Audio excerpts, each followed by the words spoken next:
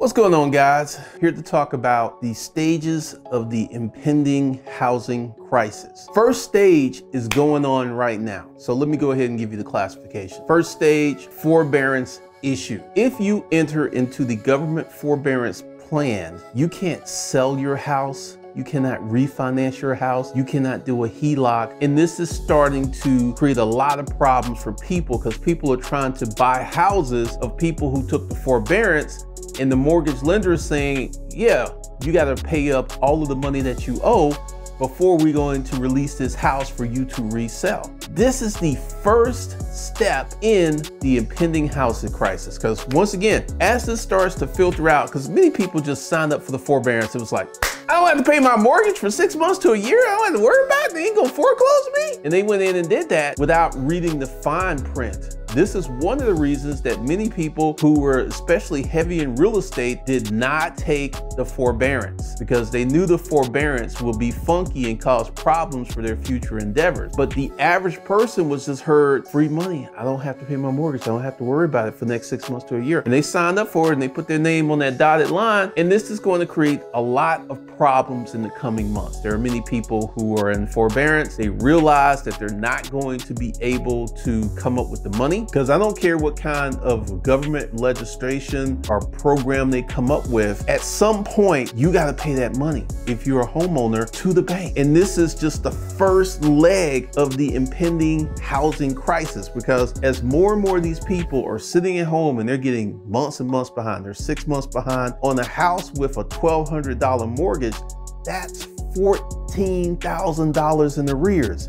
If you've got like a $2,500 mortgage, you're thirty to $40,000 behind. And the bank is just not gonna eat that. There, there are many people are talking about, well, what they're gonna do is move these payments and modify the mortgage. Well, here's something that for the folks who think they're gonna do this.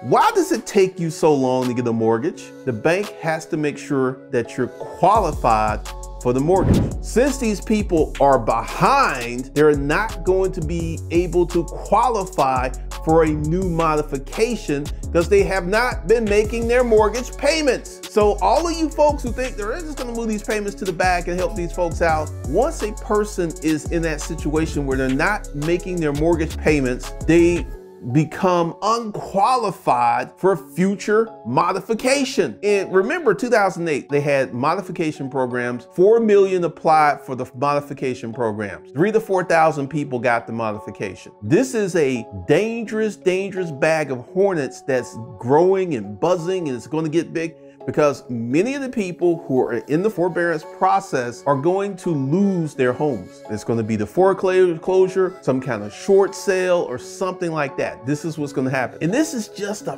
first leg of the impending housing crisis that's going on right now. There are many people who read the fine print and understood that if they took those forbearance options, they were going to limit their options in the future. And right now, 2021, if the government gets together and they put out a new CARES Act or something like that, and they provide additional forbearance, this is just going to create a larger pool of impending upcoming mortgage defaults. Let's go ahead and have this conversation. On my other channel, Savage Finance, I do personal finance education. The average person in America, 75% of America, cannot come up with $1,000 for a simple emergency cash money. 75% of America can't do that. How are these folks gonna come up with 10 to 20 to $30,000 to get their mortgage back in a compliance? This is a ticking time bomb. When they created the CARES Act and they created the EIDL loans, they created the PPP programs, they created all of this stuff, their intentions were good,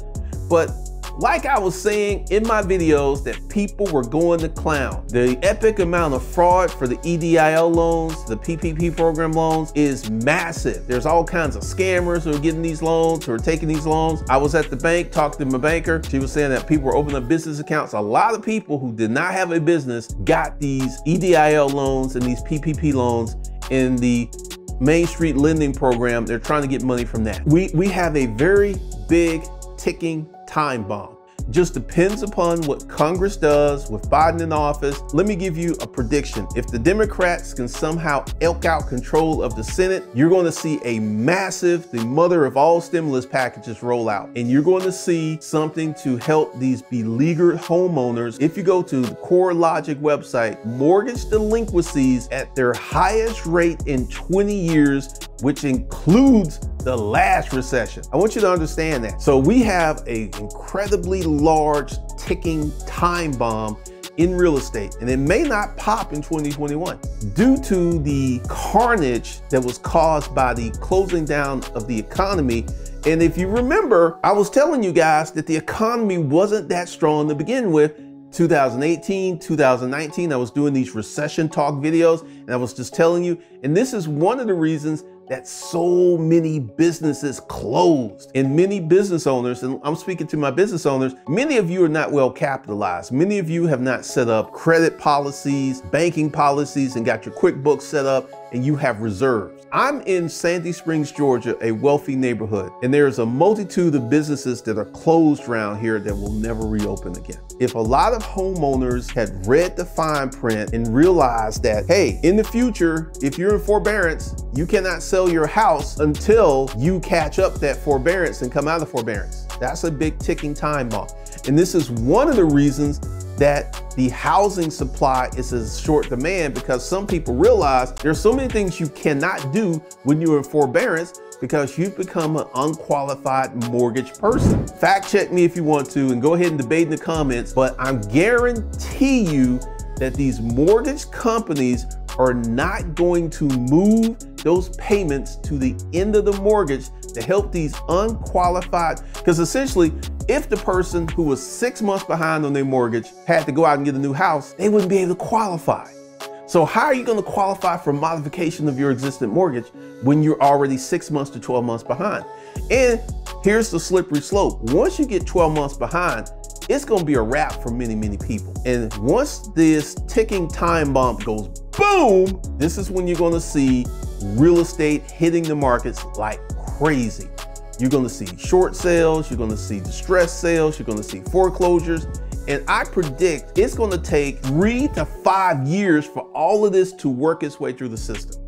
So 2021 will be the year that it will start. Well, it started in 2020 because of what's going on with forbearance, but the year of 2022 is when the time bomb is gonna go boom, and then 2023, boom, boom, and 2024, boom, boom.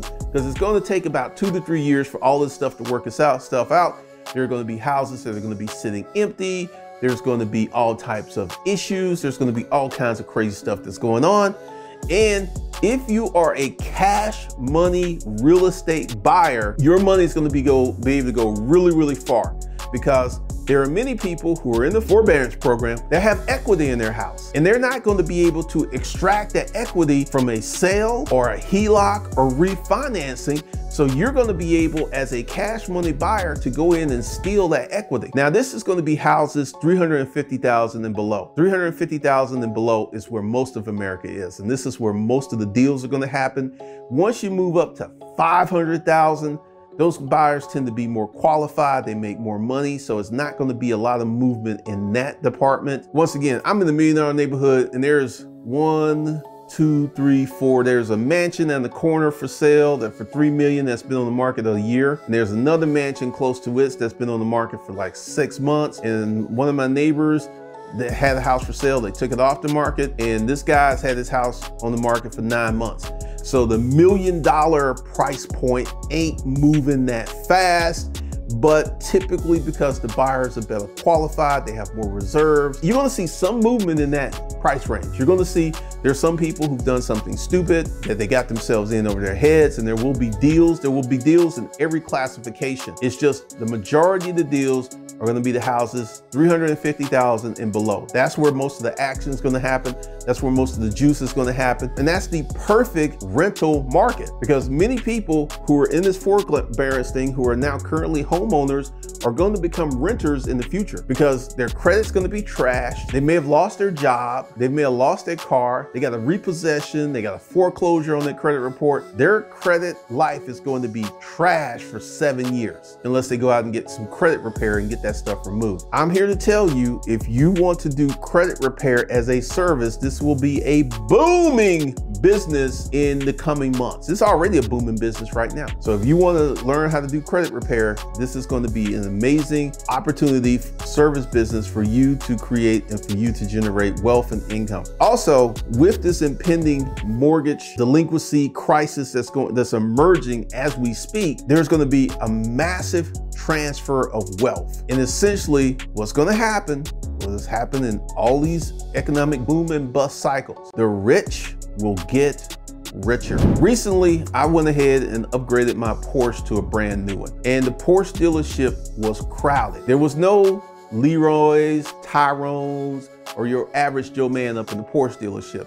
These were all well qualified people making money to go out and buy this expensive little toy in the middle of a pandemic because they have cash money, good credit, they have reserves, they have investments. Let's talk about proximity. You need to put yourself in the proximity to take advantage of these opportunities because these opportunities and this massive transfer of wealth is going to miss most of America. Most of America is not in a position to capitalize because they don't have any capital. On my YouTube channel, Savage Finance, I talk about the things that you need to do to position yourself for proximity to be advantage to take advantage. Because like essentially, I may go ahead and park my money in dividend stock for a year. It really, really, really, really depends on what's going to happen with Congress, what type of stimulus is going to happen. So I'll report back on that when and if it happens, because one of the things I want you guys to understand is if you got $100,000 cash during this, this mess up, if you deploy it correctly, you could turn that 100K into a million in next two to three years. That's what's kind of opportunities is going to be like 100K, 100K. You will be able to flip that 10X in this cycle, in this boom cycle, because this is where most of the money is made. People are on sale. Assets are on sale. Stocks are on sale. Everything is on sale. It's a clearance sale for the wealthy. Like right now, you're like, hmm, let me see. Do I want to pick up these blue chip stocks on the cheap? They want to pick up this investment property. Like right now, commercial real estate is in a tailspin. And if you want to get into commercial real estate, this is the perfect time to get into it because there are lenders, there are commercial real estate property owners who are going to do some creative financing because they're in, you know, they need some cash flow. Like right now, during this time, if you know how commercial real estate works, you can go ahead and get an apartment building you could go ahead and get a commercial office building on the cheap if you know how the game works and if you have marketing skills. Because what's the big issue with real estate? Like when I had my warehouse, essentially, you know, they'll advertise on Craigslist, but a lot of commercial real estate people don't really market their properties aggressive. They pull up a sign, they pull up some listing, and they hope you come find them. So if you were able to go ahead and get an office building and start a marketing campaign on social media, get that bad boy full, money, money, money, money. I got a lot of ideas and stuff that I'm getting ready to do. I am getting ready to deploy some capital in many, many different things because I want to 10x my money during this thing. Instead of being a millionaire, I want to be worth 10, 15 million. And if I make the right moves in the next three to four years, that can happen. So if you got 100, 100K, you should be able to 10X that in the next three to four years. If you're sitting on the mill, you should be able to turn that to 10 to 15 mil in the next 10 to three to four years because the opportunities are going to be everywhere. They're going to be everywhere. But once again, you need to be in the market. You need to know what's going on. You need to be educating yourself on what's happening with real estate, what's happening with certain asset classes, because if you want to be part of this massive transfer of wealth, you need to be in the game. You need to be doing things. You need to understand what's going on. You need to know what's a good price, what's not a good price. During the last recession, there was a house on the street, and I was living in an apartment at the time. It was a house that was on the street. It, that house sold for 256, and I was like, that's a deal. If I had been thinking, I would have bought it because that same house now is worth 600,000. That house went on clearance sale. These deals are coming back for people who are in the market, who are hunting, who are looking, who are educating themselves, who know what's going on.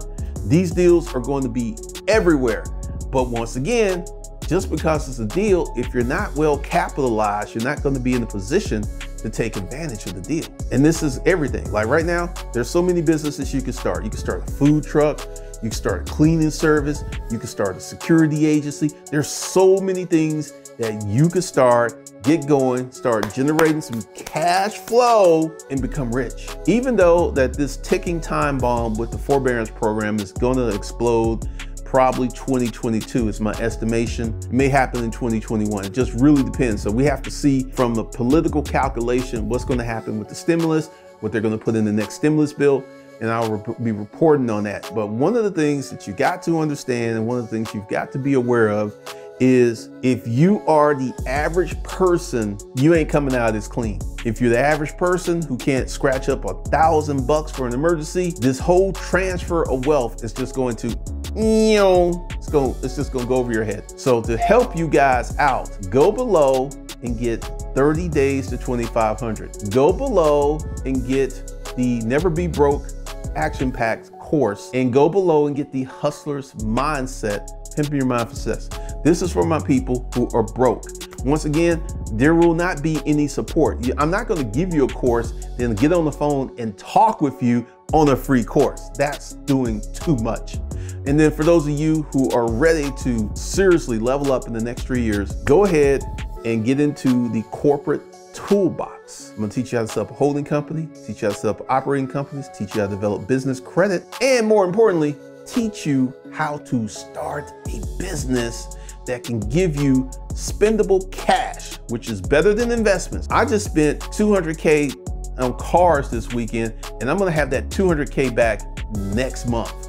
Why? Because I have a business that generates cash month after month after month. And once you get that cash, then you can take some of that cash and throw it off into investments and create some passive income for yourself. But once again, you need to develop the cash flow. So that's all I got for you guys. There will not be any uh, Black Friday sales or anything on the corporate toolbox. Sorry, they ain't happening. But I am going to be creating some special offers, so be looking for this to drop probably the day after, on Black Friday. So I will be working on some stuff. I'll be sending out emails. So if you're not on the email list, go ahead and get 30 days to 2,500. The uh, Never Broke Action Pack. If it, that link's here isn't here, it's going to be on the latest video of Savage Finance. So with that, I'll see you guys later. See you in the next video.